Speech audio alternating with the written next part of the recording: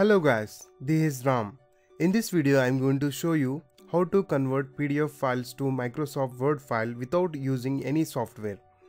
This is a very easy method which I am going to show you right now. This is a PDF file which I am going to convert to MS Word file.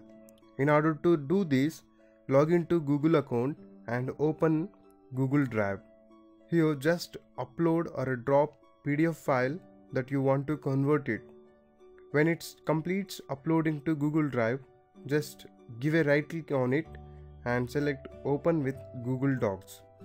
So here we can see the separate Word file created automatically. Now we can open or directly download it.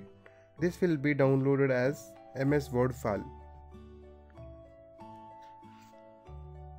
I hope this method is helpful to you all to convert PDF file to MS Word file. Please subscribe my channel for more future updates and like and share this video with your friends and don't forget to check my previous videos. Thanks for watching guys. See you in my next video.